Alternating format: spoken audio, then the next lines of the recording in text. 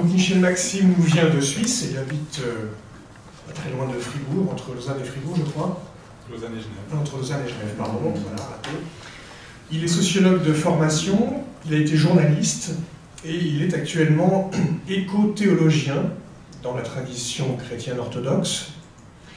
Il travaille comme responsable du laboratoire de la transition intérieure dans une ONG protestante qui s'appelle Pain pour le prochain, une ONG suisse, comparable au Secours catholique, si je ne me trompe pas. CCFD. CCFD, c'est un peu une famille, euh, même famille. Il est co-directeur de collection Fondation écologique aux, aux éditions Labor et Fides, collection dans laquelle se trouve notre livre. Et il est euh, fondateur et animateur du réseau Trilogie, qui met en dialogue les traditions spirituelles et les grands enjeux de notre temps. Il est auteur de plusieurs ouvrages, La Terre comme soi-même, en 2012, Soigner l'esprit, guérir la Terre, introduction à l'éco-psychologie en 2015, et éco-psychologie, retrouver notre lien avec la Terre en 2017. Y en a-t-il un plus récent que tu voudrais Éco-spiritualité. Éco-spiritualité, à- c'est Jouvence. Donc euh, tu as 30 minutes pour euh, nous dire ton sentiment sur cet ouvrage. Je regarde pas ma montre, elle avance de 10 minutes. Avoir le sentiment d'avoir toujours du temps. Bonjour. Merci, merci Fabien, merci de cette invitation. C'est vraiment, euh, je voulais d'abord exprimer cette gratitude et puis, et puis cette joie d'être aujourd'hui à ce colloque. C'est pas tous les jours que quand on sort un livre, on a droit à une journée d'études pour le, pour le valoriser. Et puis, c'est vrai que ma présence, c'est aussi euh, une manière de, j'aurais envie de dire, d'honorer un compagnonnage maintenant de je ne sais pas combien d'années avec, avec Fabien et son équipe et différents autres auteurs comme, comme Jean-Jacques qui est, qui est présent. Alors effectivement, au nom de quoi je parle, tu l'as dit, euh, voilà, ces, différentes casquettes. euh, et, en fait, je ne vais pas seulement parler en tant que, que chercheur d'éco-théologie dans orthodoxe, mais aussi euh, en tant que euh, effectivement co-directeur de cette collection, mais aussi de en fait euh, responsable de ce laboratoire de transition intérieure. Donc en fait, c'est un laboratoire qui travaille sur les dimensions intérieures de la transition écologique, qui sont souvent des dimensions qui sont oubliées dans ce grand enjeu qu'est la transition écologique. Et donc cette manière de comment on fait passer euh, le message de la tête au cœur et du cœur aux mains. Euh, alors j'ai commencé avec plutôt la casquette de euh, co-directeur de la collection, avec une euh, très rapide, j'aurais envie de dire, appréciation générale sur l'ouvrage. Alors c'est vrai que euh, je suis très très heureux de cette publication, nous sommes très heureux de cette publication. Je crois qu'il y a vraiment toute sa place dans cette collection, Fondation écologique. C'est vraiment un ensemble très riche, un ensemble cohérent. Et je crois que ça n'a pas vraiment d'équivalent dans, euh, pour le moment dans, le paysage éditorial euh, francophone. Et c'est vraiment, euh, il y a toute une série d'apports très substantiels à la théologie de la création comme fondement, source pour, une, pour un engagement écologique dans la tradition non seulement catholique, mais, mais chrétienne au sens large. La perspective que tu as esquissée, que je ne vais pas rappeler, est vraiment pour nous tout à fait pertinente. C'est vrai que ce n'était pas possible de faire un travail exhaustif. Euh, moi, je, je soulignerais aussi euh, très souvent le sens remarquable de la synthèse de ces différents, de ces différents chapitres. Et ce que j'ai aussi beaucoup apprécié, c'est qu'il y a un vrai sens aussi, une dose, qu'aurait d'ailleurs pu être encore plus forte, d'autocritique. Et je crois qu'il y a une dose d'autocritique, c'est très important, je crois qu'aujourd'hui, après tout le débat qu'il y a eu euh, suite à l'article de Lynn White sur la responsabilité de la tradition euh, juive et en particulier chrétienne par rapport à la, destruction de la nature, d'avoir, euh, oui, un regard, un regard critique sur la tradition, sur ses manques, sur ses dimensions peut-être euh, moins euh, ou peu écologiques. Et puis aussi sur euh, l'écart qui- qu'il y a, euh, qu'il y a eu et qu'il y a encore entre d'un côté euh, effectivement la, on pourrait dire toute la théologie, la substance de la révélation, mais ensuite la manière dont elle a été euh, reçue, vécue, interprétée par, euh, par l'Église et par, euh, par les chrétiens. Et puis aussi cet écart entre on parle des textes qui proviennent de la hiérarchie, comme, comme aussi, et en fait l'insuffisante prise en compte et mise en œuvre de ces textes sur le terrain, dans la vie très concrète à la fois des paroisses et de la vie quotidienne des, des fidèles. Aussi très apprécié le fait d'avoir ouvert la théologie sur ces dimensions spirituelles, euh, qui est vraiment euh, essentiel pour justement faire passer de la tête au cœur. Ça, je crois que c'est vraiment une dimension euh, absolument fondamentale et je crois qu'aujourd'hui on ne peut plus faire vraiment de théologie pure sans avoir ces prolongements, ces dimensions d'incarnation dans une spiritualité vécue. Et puis finalement, dernier point d'appréciation très positif, c'est je crois que c'était un vrai défi de réaliser cet ouvrage et qu'il apparaisse comme un livre en soi, c'est-à-dire que, et pas simplement comme une forme d'acte de colloque ou comme un ensemble parfois un peu disparate de textes, c'est souvent le problème des livres collectifs, que les éditeurs n'aiment pas beaucoup parce que ça se vend très mal. Et là, en fait, euh, eh bien, grâce en particulier au travail remarquable, au travail rédactionnel remarquable de Fabien, qui a vraiment fait vraiment toute cette œuvre de lissage, cette œuvre d'uniformisation du style et aussi de créer tous ces enchaînements entre les chapitres, on a effectivement un livre, un vrai livre, qui est écrit à plusieurs mains, mais on n'est pas du tout dans une dimension hétéroclite, tout disparate. Et ça, je crois que c'est quand même une performance qui est à, qui est à relever. Et là, j'aimerais aussi euh, souligner euh, et remercier euh, tous les auteurs qui ont un peu sacrifié de leur ego, du coup, puisqu'ils n'apparaissent pas véritablement sur la couverture, en tout cas en première, et qu'ils mis comme auteur des, des chapitres. Voilà. Et puis, ça m'a frappé maintenant dans la vidéo, c'est très bien qu'il y ait quand même quelques auteurs féminines, parce que c'est vrai que souvent, c'est pas forcément toujours très, très présent dans la réflexion écologique et spirituelle, et théologique en particulier. Quelques points rapides. Alors évidemment, c'est court, euh, j'aurais beaucoup de choses à dire, mais je vais plutôt donner comme ça un peu, euh, disons, des impulsions. Des impulsions par rapport à cet ouvrage, et puis je vais les structurer en trois moments. Plutôt un moment où ça va être un peu des résonances, alors ça va plutôt être euh, l'éco-théologien de racinement orthodoxe qui va parler. Il y aura ensuite un deuxième moment, peut-être plus de l'ordre du questionnement, du questionnement critique, avec peut-être ce qui m'apparaissent comme des manques ou des points problématiques dans ce qui est présenté. Et puis finalement, euh, des ouvertures, des ouvertures sur, euh, voilà, quels seraient les pas à effectuer pour aller plus loin et pour aller au-delà de, ce qui est, de ce qui est présenté.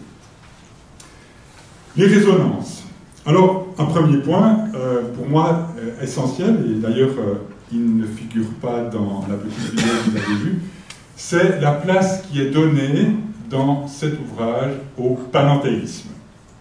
Panenthéisme, mot peut-être un peu barbare, mais pan enseos, cette doctrine de, en fait, tout en Dieu et Dieu en tout, qui n'est pas du panthéisme, parce que si tout est en Dieu, tout n'est pas divin, n'est pas Dieu par essence, et si Dieu est en tout, eh bien Dieu ne se confond pas avec, ce tout.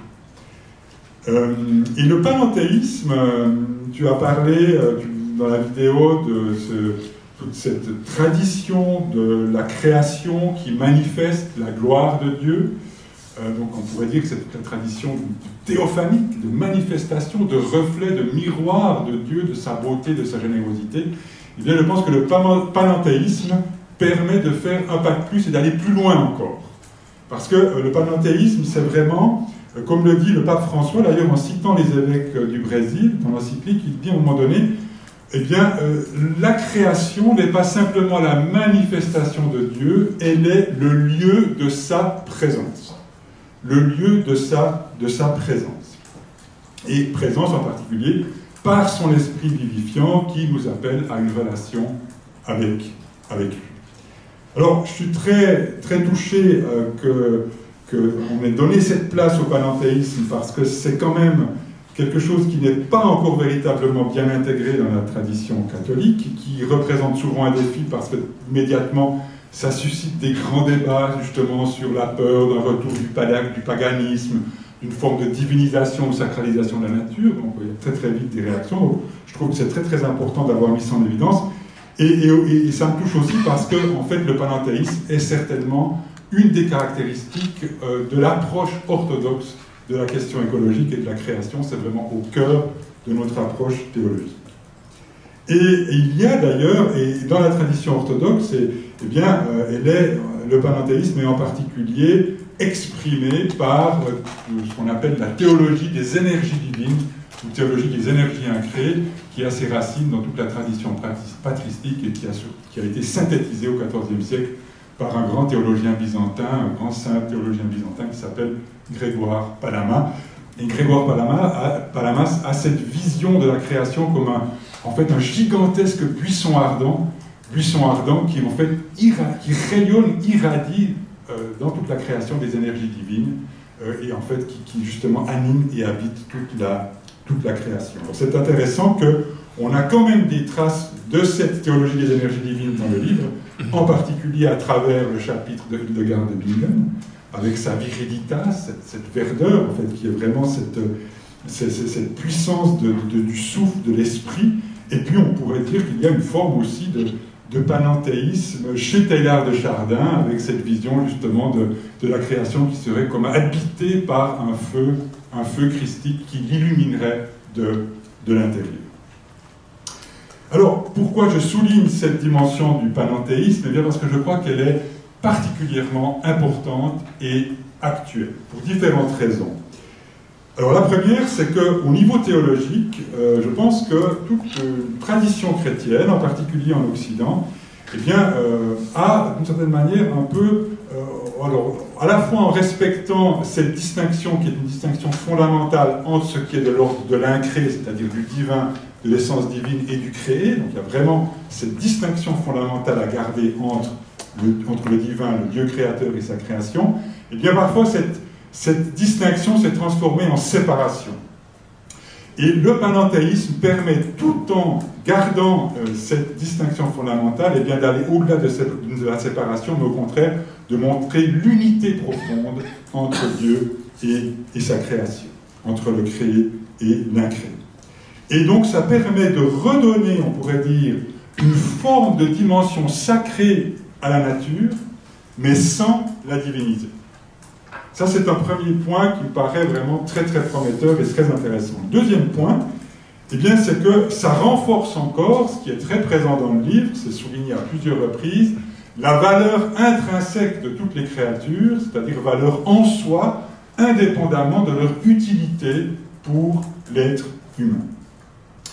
Troisième élément important, eh c'est que je crois que, et je l'expérimente moi-même, c'est que le panenthéisme est, a un potentiel, est porteur d'un potentiel de dialogue absolument formidable, aussi bien avec les autres traditions spirituelles, pas seulement œcuméniques, mais vraiment au niveau interreligieux, ainsi d'ailleurs qu'avec la science. Il y a maintenant toute une série de colloques qui se passent sur justement panenthéisme, physique quantique, etc. Donc là, je crois qu'il y a vraiment un extraordinaire potentiel de dialogue. Et puis le quatrième point, qui est d'ailleurs relevé dans le livre, eh bien, c'est que je pense qu'il y a là moyen vraiment de rejoindre la sensibilité de toute une partie de la population par rapport à l'écologie aujourd'hui. Et moi, je le vois avec notre laboratoire de transition intérieure où nous offrons des espaces d'expérimentation, des espaces de vécu, de, de, reconnexion à la fois à la nature et à la dimension spirituelle de la nature. Eh bien, c'est vrai qu'aujourd'hui, de plus en plus de personnes ne veulent pas simplement d'un discours, mais veulent expérimenter quelque chose, veulent se reconnecter à la nature, veulent faire au fond une expérience, j'aurais presque envie de dire, de Dieu à travers un lien profond avec la nature. Et là, c'est intéressant vraiment ce que dit le pape François, parce qu'à un moment donné, quand il parle de cette présence de Dieu dans la nature, il ajoute la découverte de cette présence, donc on pourrait traduire l'expérience de cette présence, et précisément ce qui va nourrir et permettre de développer des vertus écologiques. Et ça, c'est très intéressant de lire vraiment, il faut bien lire l'encyclique dans le, bon sens. On n'a pas du tout une approche morale ou éthique où on poserait d'abord un certain nombre de principes et de valeurs auxquels il faudrait se conformer, mais on a vraiment là l'appel à une expérience, et c'est de cette expérience qu'on va pouvoir nourrir ces grandes vertus écologiques que sont le respect, la gratitude, la, responsabilité, l'émerveillement etc. Alors le panenthéisme, il pose, pose une grande question, et cette question, c'est la question du mode de connaissance. Parce que c'est bien beau de dire que voilà, euh, Dieu est présent dans la nature, mais encore faut-il pouvoir le connaître. Encore, faut-il pouvoir le connaître, encore faut-il pouvoir en faire, faire l'expérience? Et là, c'est vraiment tout l'enjeu, c'est la capacité de l'être humain, précisément, à, euh, comme dit le pape François, trouver Dieu en, en toutes choses. C'est-à-dire vraiment à entrer en relation euh, expérientielle avec ce, divin, euh, comme dit le patriarche Bartholomé dans la tradition orthodoxe, à apprendre la langue divine mystérieusement cachée dans la nature. Alors, dans le livre, c'est là où certaines, certaine insatisfaction, mais qui est propre quand même à la tradition occidentale, c'est vrai que la modernité occidentale a vraiment érigé la rationalité, la raison comme l'organe suprême de la connaissance. Et euh, d'une certaine manière, j'aurais presque envie de dire que toute une tradition catholique, telle qu'elle apparaît dans le livre, est le reflet de ça. Et donc une forme de réductionnisme euh, vraiment de l'être humain à un composé psychosomatique, la rationalité, la raison faisant mmh. partie de la psyché, avec au fond ce qui est absolument central, en tout cas dans la tradition orientale du christianisme, la tradition orthodoxe, qui est l'évacuation de cette troisième faculté, en plus du corps et de la psyché dont la raison fait partie, c'est l'esprit, ou l'intellect spirituel, ce que les pères grecs appellent le nous. Dans la tradition latine, on appelle ça l'intellectus, par opposition à la ratio. Et c'est vrai que, en tout cas, euh, pour toute cette tradition-là, qui est en fait une tradition mystique, eh bien l'organe premier de la connaissance, c'est l'éveil et la culture de l'esprit du nous. Et là, je dirais que ça, c'est ce qui va permettre aussi peut-être de, sortir de tout ce débat euh, dont le livre d'ailleurs fait, écho sur toute la question de la théologie naturelle et de la capacité de l'être humain, par sa raison naturelle, marquée ou pas par la corruption de la chute, de véritablement connaître Dieu à travers ses créatures. Donc là, vraiment l'appel à un autre mode de connaissance fondé sur euh, cet intellect spirituel, autre mode de connaissance justement qui est un mode de connaissance, non pas une connaissance sûre, mais une connaissance de, donc en fait une connaissance où on est avec ce qu'on a à connaître dans un dépassement de la dualité entre un sujet qui connaît et un objet qui est à connaître, pour aller vraiment dans, une connaissance par participation, par amour et par l'émerveillement. En lien avec le, le, panenthéisme, euh, souligné aussi, et, là je pense qu'il y a aussi tout un potentiel de développement, c'est euh, la mention à plusieurs reprises justement de cette dimension cosmique de l'incarnation, dimension cosmique du Christ, le Christ cosmique, et là, euh, vraiment, je suis très très heureux qu'il y ait eu cette ouverture sur, en fait, voilà, ce dépassement finalement de toute une vision de l'incarnation, comme c'est dit dans la vidéo, voilà, comme en fait plutôt réponse à la chute, avec toute cette théologie du rachat, euh, etc. Et justement aussi d'ouvrir sur une autre tradition théologique, qui est cette tradition plutôt de l'incarnation comme accomplissement, accomplissement d'un potentiel de divinisation. Alors c'est vrai que pour moi dans le livre ça reste encore euh, tout ce chapitre assez finalement humano-centré et j'aurais envie de dire heureusement qu'avec Taylor de Chardin on a euh, une ouverture vers quelque chose où j'aurais envie de dire cette dimension cosmique du christianisme est encore véritablement plus, plus affirmée. Et pourquoi je souligne ça? Eh Parce que je crois que c'est vraiment cette dimension cosmique du Christ, c'est vraiment une clé pour une écologie chrétienne. Une clé pour une écologie chrétienne qui est, à, développer, et d'ailleurs dont, les racines se trouvent dans, les épîtres, les épîtres de Paul, avec justement la, vision du Christ qui réconcilie le ciel et la terre dans l'épître euh, aux, Colossiens, et puis en fait toute cette vision de la récapitulation de tout le créé dans, dans, le Christ, qui vient justement plutôt de l'épître aux Éphésiens, et qui a été repris par toute une tradition théologique depuis Irénée de Lyon, au IIe siècle, jusqu'on pourrait dire à Saint François, en passant en particulier par Saint Maxime le Confesseur au 7e siècle. Saint Maxime, d'ailleurs, qui parle d'une triple incarnation ou triple incorporation du Verbe divin dans les Écritures, dans l'être humain à travers Marie et aussi dans la création tout entière.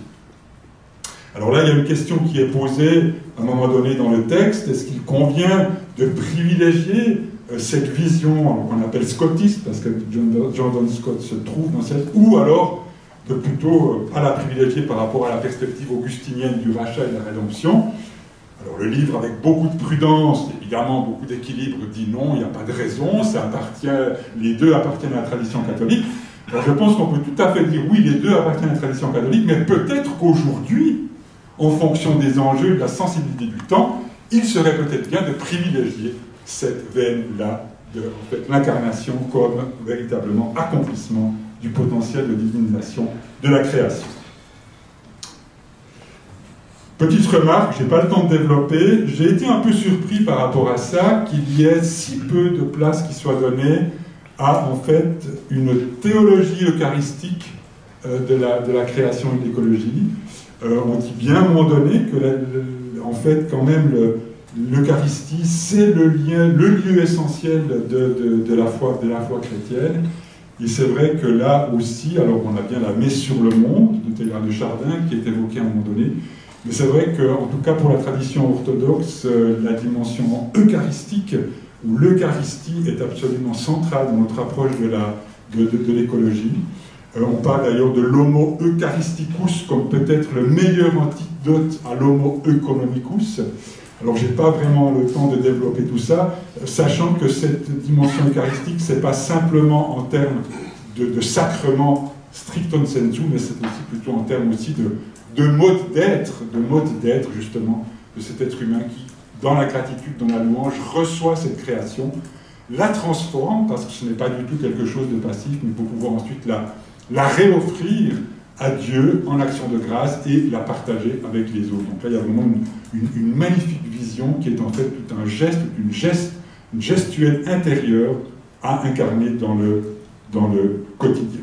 Et c'est vrai que je pense qu'il y a là un vrai enjeu pour les églises, c'est vraiment de revaloriser cette dimension euh, euh, en fait cosmique des rites et de l'Eucharistie en particulier, parce que j'ai vraiment la conviction que et des célébrations, c'est-à-dire d'en rendre plus, plus, palpable, plus manifeste, j'aurais envie de dire, à la conscience des fidèles, cette dimension cosmique, parce que je crois que le rite, précisément, qui est un autre mode de connaissance symbolique, qui, qui, permet de, mobiliser d'autres parties de l'être, peut être extrêmement porteur, inspirateur et mobilisateur. Voilà pour la partie résonance. Pour la partie des manques, alors c'est vrai que Fabien a dit euh, que ce n'était pas possible d'être exhaustif, et puis c'est vrai que quand même c'est une somme, hein, il est quand même assez, assez, assez épais, euh, et que ben, c'est tout le problème des sommes, c'est-à-dire qu'en fait on voit d'autant plus ce qui manque, parce que c'est très très riche.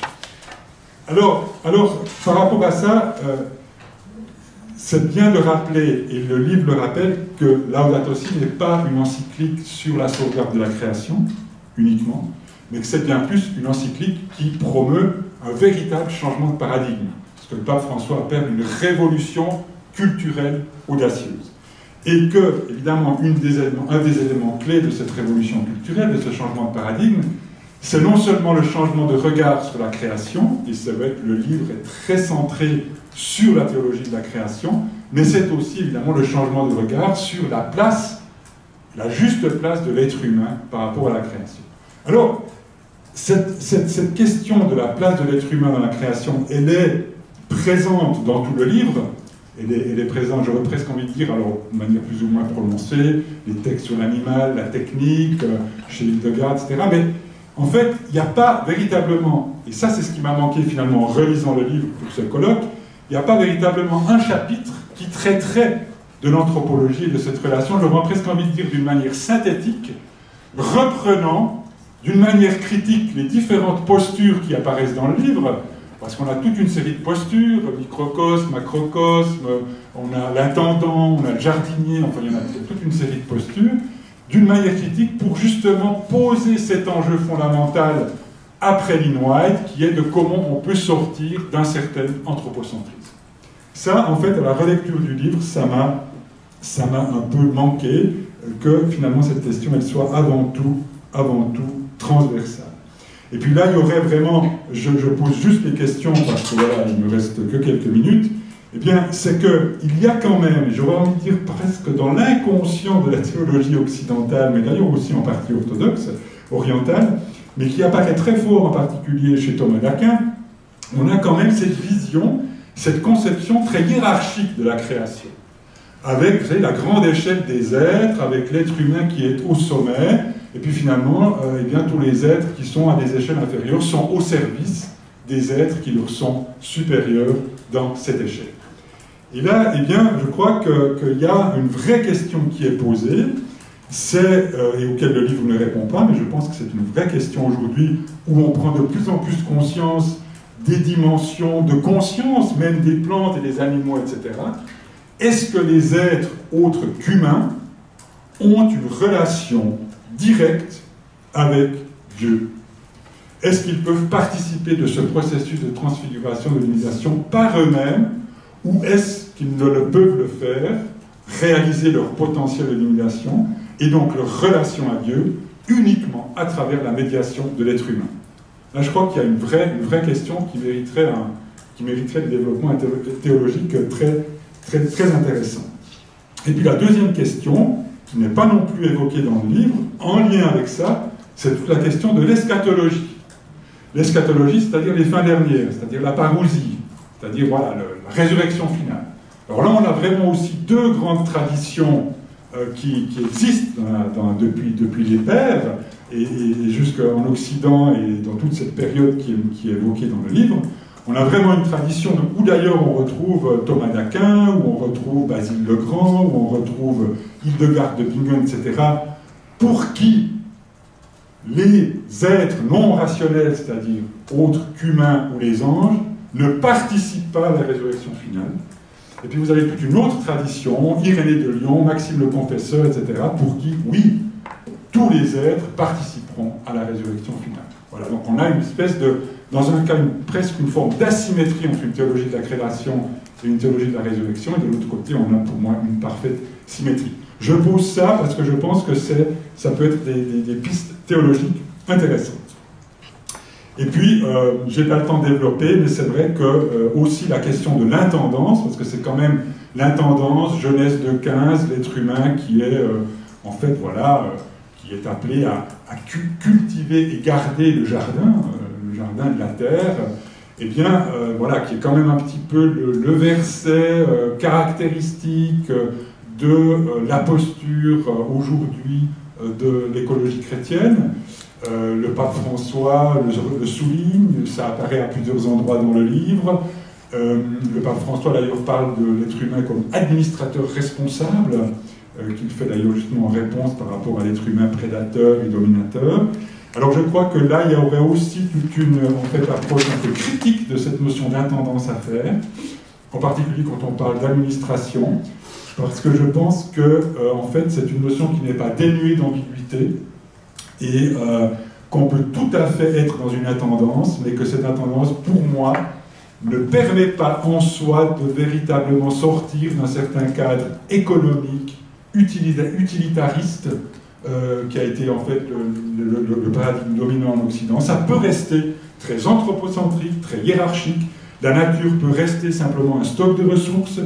Voilà. Donc je crois qu'il y a là, vraiment aussi toute une critique à faire de cette notion des tendances. Et des pistes sont données dans le livre, j'aurais envie de dire, à travers la vision du jardinier. Le jardinier, mais le jardinier à l'image du Christ. C'est-à-dire, en fait, cette intendance, pour qu'elle soit véritablement euh, écologique, éco-spirituelle, doit obéir à un certain nombre de critères.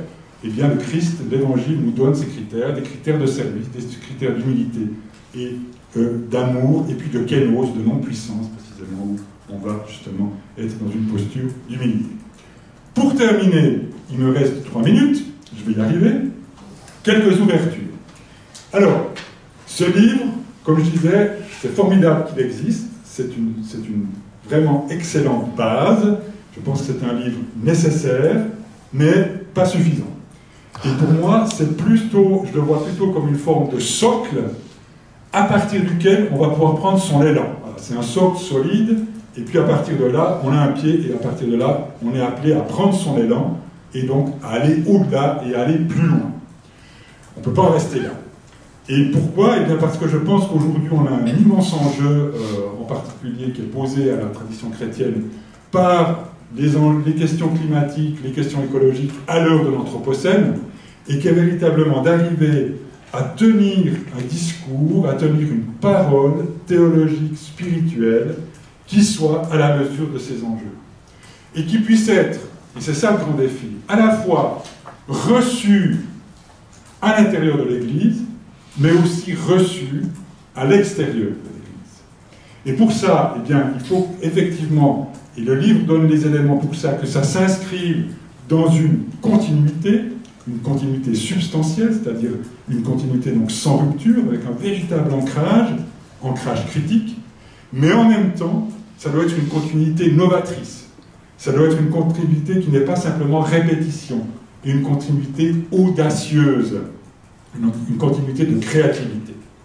Et par rapport à ça, eh il y a différents éléments qui apparaissent dans le livre, et j'aimerais juste les mentionner comme vraiment ouverture finale. Eh bien, pour aller plus loin, pour faire ce pas plus, une première piste, ce serait vraiment, et c'est super parce que Bastien, euh, Fabien finalement, il a, il a proposé déjà deux nouveaux livres pour la collection, mais un de ceux-là, ce serait de faire la synthèse de toute cette théologie de l'écologie dont tu as parlé, c'est-à-dire d'arriver, qui s'est souvent d'ailleurs développé non seulement dans le monde communique, mais un peu aussi en marge de la tradition chrétienne. Je pense à des figures comme Matthew Fox, comme euh, Thomas Berry, comme toute la théologie du process, comme tout l'écoféminisme, qui pose plein plein de questions. Et je crois qu'il y aurait un vrai travail à faire pour dire mais comment intégrer avec discernement le meilleur de cette tradition pour pouvoir venir nourrir notre réflexion et, notre, cheminement éco-spirituel.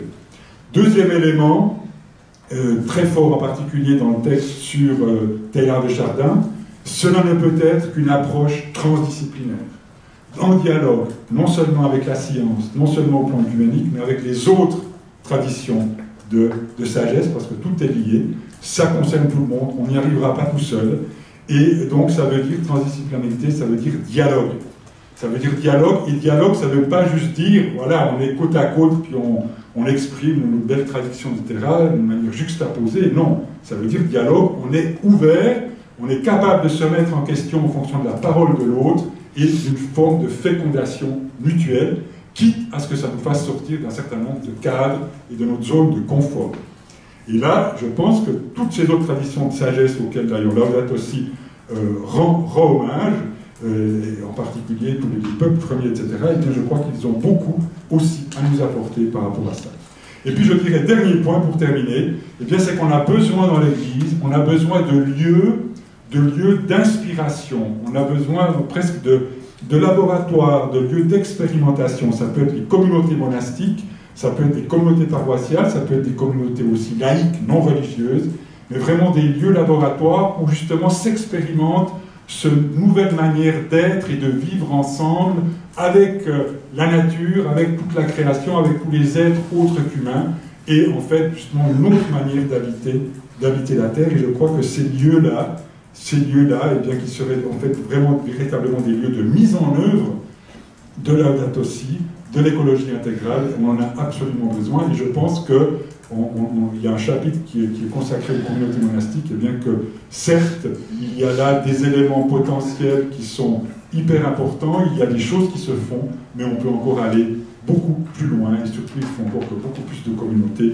s'y mettent. Et là, je termine par une petite page de publicité, c'est que va sortir dans la collection un livre de Christine Christophe Lardet, qui s'appelle Sur la terre comme au ciel, et qui va présenter toute une série de communautés spirituelles engagées en écologie. Merci de votre attention. Euh, donc je vous propose de, réagir et d'interagir avec, euh, avec Michel Maxime, même euh, des intervenants qui, veulent déjà commencer à mettre leur grain de sel s'ils ne sont pas d'accord avec tel ou tel point d'interprétation. Oui, je souhaiterais s'il vous plaît que vous redonniez une définition du panenthéisme et ensuite de situer dans l'histoire des idées. Merci. Alors pour la resituation de l'histoire des idées, je ne pas bien pour Pour la définition, ben, si vous prenez le, mot, le mot panenthéisme, vous avez ces trois, en fait, si on décompose le mot, euh, on a pan, donc c'est du grec, pan, tout, M en Théos, tout en Dieu. Et puis on l'entend aussi par tout en Dieu et Dieu en tout. Et euh, voilà, ça c'est peut-être la définition la, plus simple. Euh, Grégoire Palamas, qui, comme je disais, dans la tradition orthodoxe au XIVe siècle, a d'une certaine manière synthétisé toute cette tradition, il parlait de euh, Dieu est dans l'univers, l'univers est en Dieu. Et puis, vous avez bah, le pape François qui dit à un moment donné, l'univers se déploie en Dieu qui le remplit tout entier. Voilà, c'est un petit peu cette, cette, double idée. Et alors, justement, c'est quelque chose, bah, comme je l'ai dit, que je trouve très, intéressant parce que d'abord, bah, ça permet quand même de maintenir cette distinction qu'on dit, voilà, distinction ontologique, c'est-à-dire qu'en fait, je vois un arbre, eh bien, en fait, effectivement, je ne peux pas, ce serait du panthéisme, je ne peux pas dire que cet arbre est Dieu, qu'il est d'essence divine. S'il était d'essence divine, ben, voilà, il, ne se corromprait pas, il ne mourrait pas, etc. Mais, euh, après, je peux dire, dans une perspective théophanique, ben voilà, cet arbre, il est, la, il est la création de Dieu, donc il est le reflet de sa bonté, de sa beauté, etc. On dirait aujourd'hui de son intelligence, on parle beaucoup de l'intelligence des arbres. Et puis, euh, le parentéliste va dire, mais c'est encore plus profond que ça, c'est-à-dire que d'une manière mystérique, et c'est là où on ne peut pas non plus toujours tout définir, Dieu est présent dans cet arbre, l'Esprit est présent dans cet arbre comme il est présent dans toute la, dans toute la création. Alors sur les origines, euh, peut-être tu peux dire, euh, tu peux dire euh, deux mots, tu, refais d'ailleurs toute l'histoire à partir du 19e siècle. Je te, je te, donne la parole. Justement, à la page 172 du livre, vous pourrez trouver Pour ceux qui que ce mot vient de l'allemand Karl Christian Friedrich Krause, disciple de Hegel, en 1900, 1829.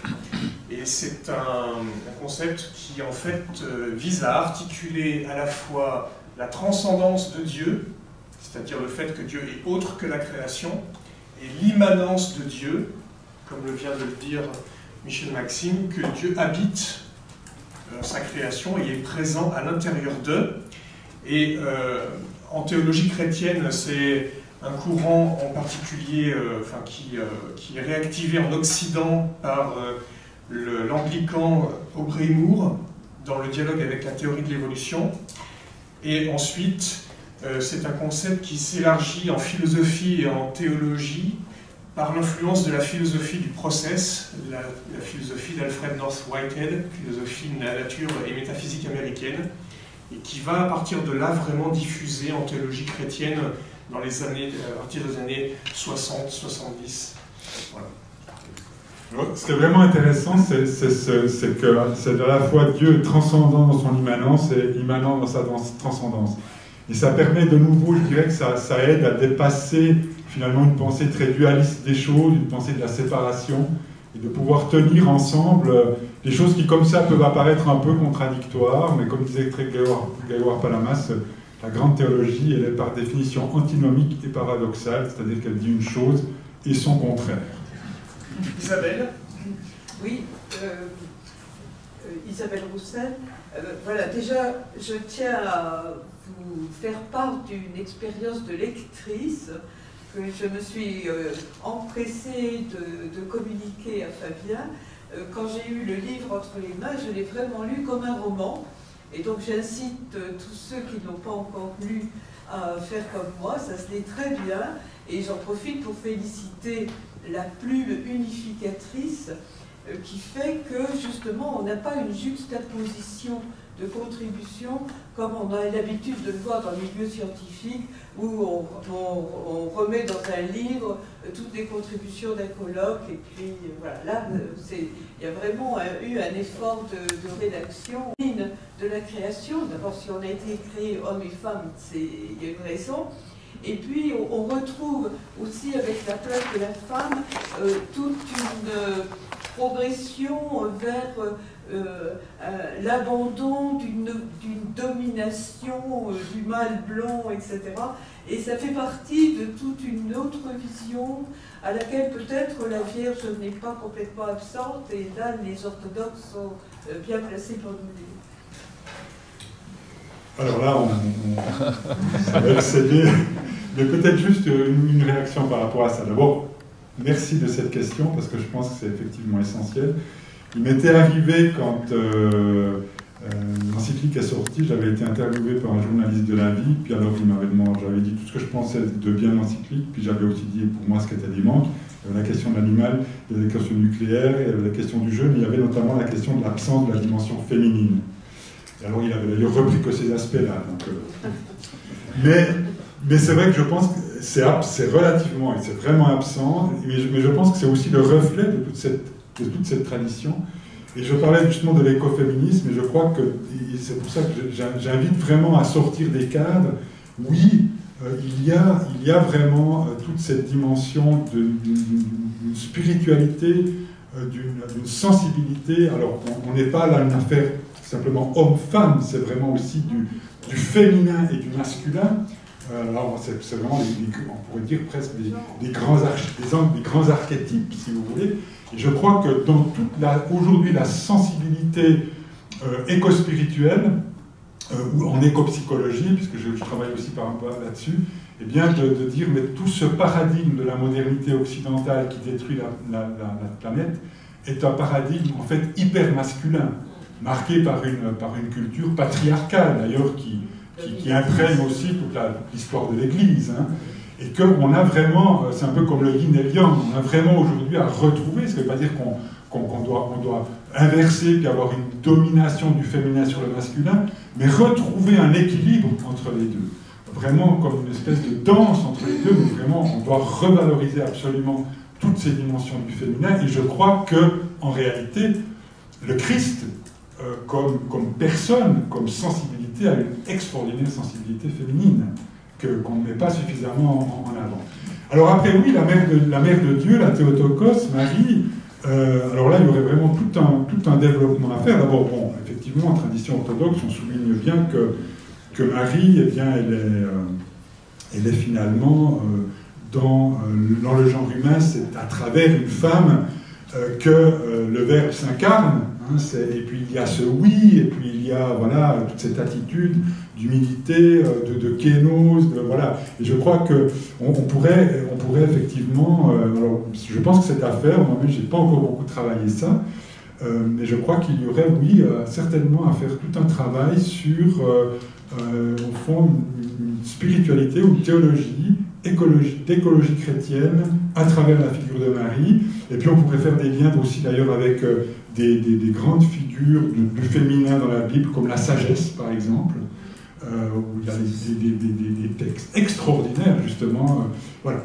Donc oui, alors ça c'est vraiment une piste à, développer, mais je dirais que, curieusement, quand bien même la tradition orthodoxe a tout un culte euh, très très fort à, Marie, eh bien dans les textes sur l'écologie, ces dimensions-là ne sont pas véritablement développées.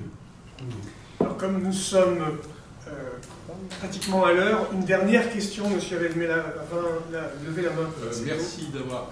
Quand vous dites que le Christ a les qualités féminines, je pense à la pensée intuitive, qui est en particulier incarnée par un certain nombre de Parlez bien fort, parlez bien fort. Euh, je, voulais vous demander euh, sur le panenthéisme, merci d'avoir expliqué de façon très claire, est-ce que ça n'est pas d'une certaine façon retraduit par la pensée de Taillard à travers son point oméga?